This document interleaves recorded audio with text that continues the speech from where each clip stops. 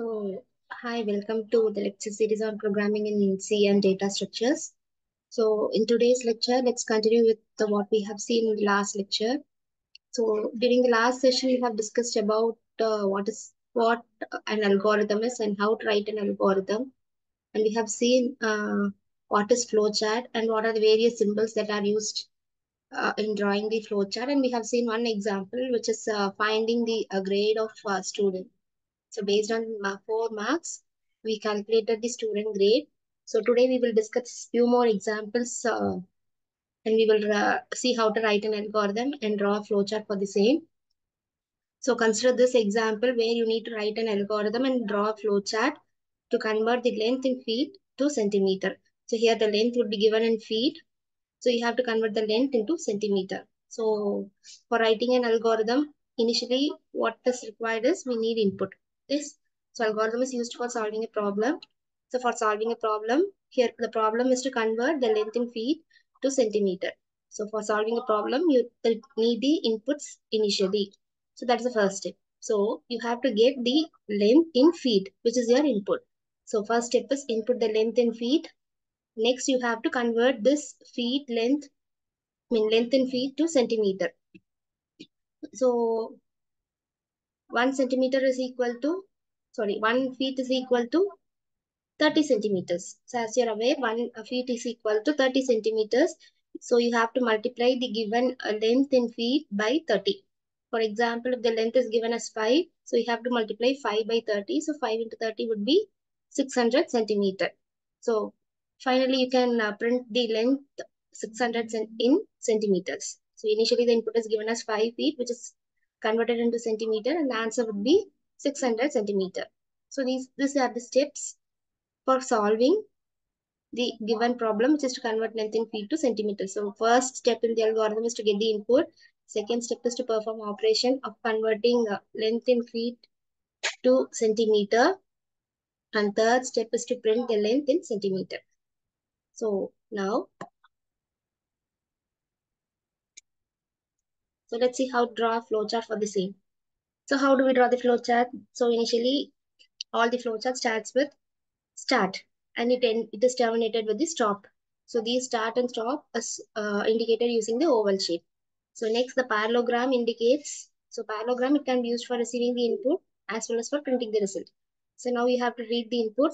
So we read uh, the input which is the length in feet. So that is what I have mentioned as input LFT. LFT means length in feet. Next, you have to convert this length in feet into centimeter. So the formula used is, as we have discussed earlier, length in feet is multiplied by 30. So which is stored in LCM, which is length in centimeter. So this holds the length in centimeter. So finally in the hybrid box, we are printing the length in centimeter. So let's see one more example. Here you have to calculate the area of a rectangle. So for calculating the area of rectangle, what is the input required? The rectangle has two different sides. One is length and other one is breadth. So two different lengths would be there. Not all the sides are equal. So the highest length is called as length and shorter side is called as uh, width or the breadth. So formula used for calculating uh, areas length into width or length into breadth. First you have to get the input in input value for length and width. Next, you have to calculate the area by multiplying L with W. So area of rectangle equal to L into W. Finally, you have to print the area. So this is the algorithm.